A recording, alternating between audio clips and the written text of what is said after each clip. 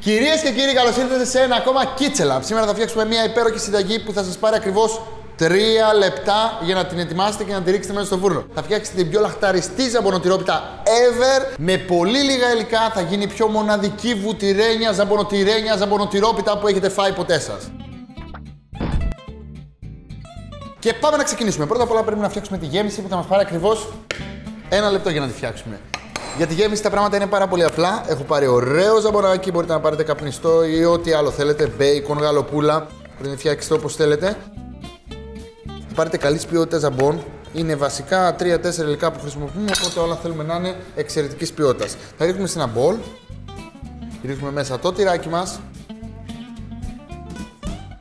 Έχω μία πιπεριά κόκκινη, τη χρειαζόμαστε, θα δώσει ιδιαίτερη γεύση. Πιστέψτε, μία πιπεριά θα κάνει τη διαφορά. Άσχετα που φαίνεται ότι είναι λίγο το υλικό.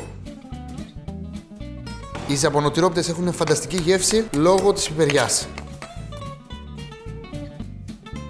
Ψιλοκόβουμε την πιπεριά εδώ. Και μαντέψτε. Πάει και αυτή μέσα στο μπολ. Τέλεια. Έχω μία πιπεριά καυτερή που σε περίπτωση που δεν έχουμε καυτερή πιπεριά τη ρίχνουμε φιλελάκι. Μπούκοβο εννοείς, αποξηραμένο. Γιατί το τσίλι είναι αυτό που ρίχνουμε τώρα μέσα. Λοιπόν, μας αρέσει γιατί είναι γλυκό το τυρί μας, η γραβιέρα που έχουμε ρίξει μαζί με όλα τα υπόλοιπα τυριά, το τσένταρ και καθώς ρίξουμε την περιά την καυτερή, θα ισορροπήσει πάρα πολύ τη γεύση. Τώρα έχω μία ντομάτα, παίρνω την κόβω εδώ στη μέση, κοιτάξτε. Κοτσάνι πάνω. Και μόλις την κόψω στη μέση, παίρνω και στίβω όλο της το ζουμί. Άμα την κόψετε έτσι και απλά ζουμπήξετε, κατευθείαν όλα τα σπόρια θα φύγουν. Οπότε, ψιλοκόβω και την ντοματούλα μου. Τέλεια. Ρίχνω και την ντομάτα μέσα. Και βέβαια τι άλλο πρέπει να ρίξω φιλελάκι; Μπράβο! Θυμάρι! Θυμαράκι, το αγαπάμε στην εκπομπή μας, μας αρέσει πάρα πολύ. Και έχω υπέροχο θυμάρι εδώ. Εντάξει. Α, αυτό ήταν όλο. Πιπεράκι. Ρίχνουμε μπολικό. Ανακατεύουμε καλά. Βέβαια την ντομάτα που μας έχει περισσέψει δεν την πετάμε. Με λίγο ε, παξιμάδι κάνουμε έναν υπέροχο ντάκο ανακατεύουμε. Απλά δεν χρειαζόμαστε τα σπόρια γιατί άμα βγάλει υγρασία μέσα στη ζαμπονοτυρόπιτα, μετά η ζαμπονοτυρόπιτα δεν θα έχει ωραία υφή. Κοιτάξτε τι ωραία γέμιση που έχει γίνει. Ούτε αυγά, ούτε γάλατα, ούτε τίποτα. Ήρθε η ώρα να γεμίσουμε ε, την κουρού μας.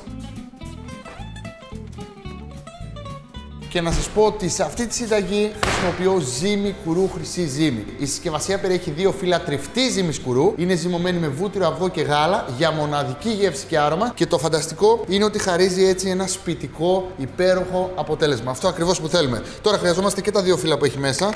Οπότε ανοίγουμε τη συσκευασία. Ένα, δύο. Και εδώ και μια καλή κουρού την καταλαβαίνεις κατευθείαν από το άρωμα. Όταν ανοίξει τη συσκευασία, μυρίζει φανταστικά. Μπορείς να καταλάβεις το βούτυρο, μπορείς να καταλάβεις τη γεύση, μπορείς να καταλάβεις όλα αυτά τα υπέροχα αρώματα. Κοιτάξτε εδώ, για να κάνω τη ζωή μου εύκολη, απλά ανοίγω τη συσκευασία, ρίχνω τη γέμιση. Όταν σας είπα ότι θα είναι εύκολη, το εννοούσα. Δεν σας κορίδευα. Κοιτάξτε εδώ. Απλά βάλτε τη γέμιση πάνω, απλώστε την. Εδώ. Και έτσι όπως είναι, φιλελάκι τι θα κάνουμε; Θα το καπακώσουμε ρε φίλε μου. Κοίτα εδώ. Παίρνουμε το άλλο φιλοκουρού, όπως είναι. Το βάζουμε από πάνω. Εδώ. Πατάμε τις άκρες. Και παίζουμε άμα έχεις δει πιο εύκολη πίτα από αυτή. Και κοίτα εδώ, για να διασφαλίσουμε ότι η γέμιση δεν θα πάει παντού, λίγουμε τις άκρες. Και με το που βγάλετε τη ζύμη κουρίου από το ψυγείο, βεβαιωθείτε ότι κατευθείαν θα αρχίσετε να φτιάχνετε την πίτα σας γιατί έχει περίπου την ίδια συμπεριφορά με τη σφολιάτα. Δηλαδή η ζύμη κουρίου θέλει αγάπη και θέλει να είναι κρύα. Άμα αρχίσει να ζεσταίνεται, μετά υπάρχει πρόβλημα. Τώρα, έχω ένα ταψάκι και θα φροντίσω να χωρέσει μέσα η πίτα μου. Όπως είναι, μπαίνω ολόκληρη εδώ, τη βάζω μέσα, απλώνω και αφήνω να κάτσει παντού. Εδώ. Κοιτάξτε εδώ πόσο ωραίο ρουστίκ αποτέλεσμα που έχει.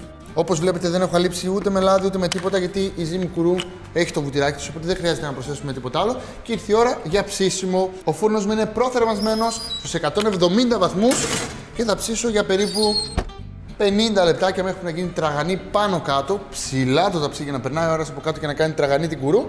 Και μόλις είναι έτοιμη, θα σερβίρουμε κατευθείαν για να γίνει χαμός και καταποντισμός. Και ήρθε η ώρα να κόψουμε την πιο υπέροχη, εύκολη ζαμπονοτυρόπιτα ever. Πρώτα απ' όλα μια ζύμη κουρού όταν τη φας κατευθείαν όπως βγει από το φούρνο, δεν συγκρίνεται η γεύση με κανένα άλλο φύλλο. Πραγματικά είναι φανταστική. Και είναι μια ζύμη που γενικά έχουμε μάθει να χρησιμοποιούμε. Τώρα θέλω να δείτε τι έχει γίνει μέσα. Μέσα η γέμιση έχει γίνει τέλεια. Επειδή έχουμε βγάλει την υγρασία από την ντομάτα, κοιτάξτε εδώ πόσο τράγανο που έχει γίνει το φύλλο από κάτω. Η γέμιση μέσα είναι τέλεια. Κοιτάξτε εδώ, είναι σαν πίτσα. Το βλέπετε; Λοιπόν, θέλω να κάνετε comments κάτω από το βίντεο. Οπωσδήποτε να μοιραστείτε αυτό το βίντεο με τους φίλους σας. Οπωσδήποτε να μας στείλετε φωτογραφίες και οπωσδήποτε να κάνετε subscribe στο κανάλι μας. Φιλάκια πολλά, να έχετε μια υπέροχη ημέρα. Γεια σας.